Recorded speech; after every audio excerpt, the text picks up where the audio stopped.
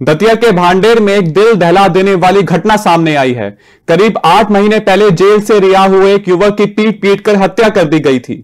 घटना शुक्रवार सुबह की है। वारदात में पुलिस ने कुछ लोगों को हिरासत में लिया है। पुलिस का कहना है कि जल्द मामले का खुलासा कर दिया जाएगा। भांडेर के काजी पाठा मोहल्ला निवासी भगवान सिंह हत्या करने के आरोप में जेल में बंद था। वह पिछले साल अगस्त में जेल से रिहा हुआ था। शुक्रवार सुबह वह इलाके की एक आटा चक्की पर पहुँचा था, जहाँ उसकी किसी बात को लेकर कुछ लोगों से विवाद हो गया, जिसके बाद युवक की पीट पीट कर हत्या कर दी गई। घटना का एक 18 सेकंड का लाइव वीडियो सामने आया है। मामले को लेकर भांडेर एसडीओपी कार्णिक श्रीवास्तव ने बताया कि विवाद का कारण पुलिस तलाश रही है, मौके पर मौजूद लोग भी स्पष्ट कुछ बता नहीं रहे हैं। कुछ लोगों को राउंड अप किया गया है।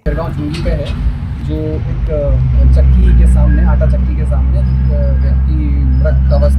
हुआ है और संदेहास्पद रूप से हत्या उसकी की गई है। तो उसी में प्रारंभिक रूप से हम लोग जो है घटनास्थल पर आए थे। तो ये मृतक जो है भगवान सिंह यादव नाम के व्यक्ति है। और इसकी किसी ने हत्या जो है वो करी है। अभी इसमें तीन से चार संदेही जो है वो हमको स्पष्ट हुए हैं प्रारंभिक रूप से।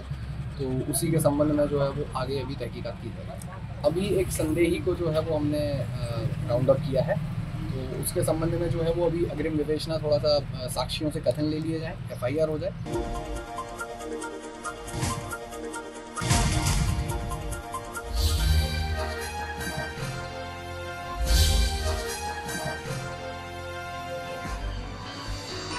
आप देख रहे हैं दखल न्यूज़।